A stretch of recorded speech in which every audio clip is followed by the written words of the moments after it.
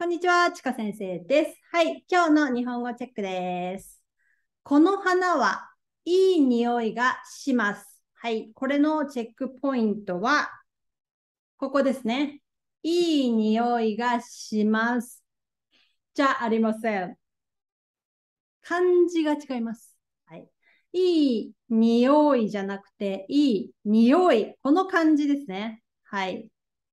または、いい香り。これでもいいです。はい。あのどうしてか。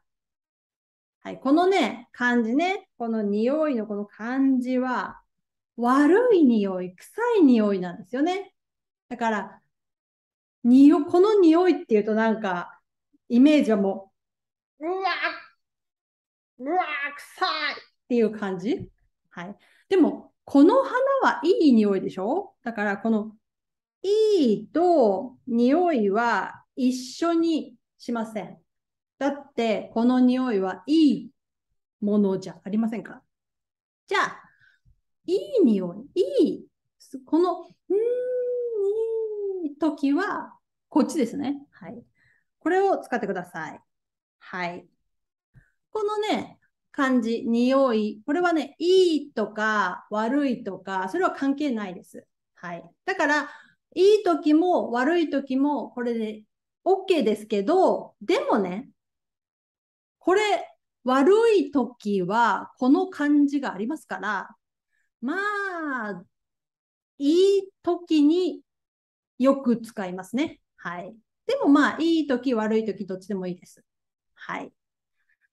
で、このいい香り。これはね、あの、香りっていうのが、あの、フレグランスですね。このいい匂い。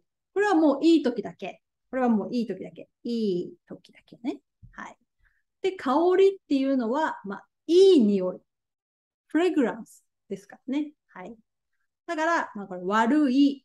悪くても良くてもいい。でも、悪い時が多い。で、これは、まあ、いい時ですね。はい。OK ですか？まあ、こんな感じですよね。これを使うのは、ゴミの匂い。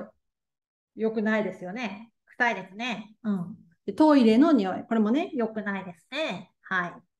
じゃあ、カレーの匂い。これ、美味しそう。わーっていう時ね。それはカレーの匂い。はい。で、まあ、シャンプーの香り。これ、シャンプー。シャンプーの香りは、まあ、いいですよね。普通は。はい。まあ、こんな感じですね。に使います。だから皆さんね、これ、発音、ひらがなは同じですから、まあ、話すときは問題ないですけど、まあ、書くときですね。はい。に気をつけてください。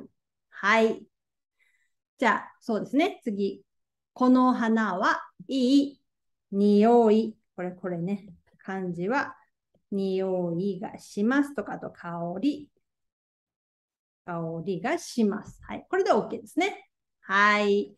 それでは今日もありがとうございました。またね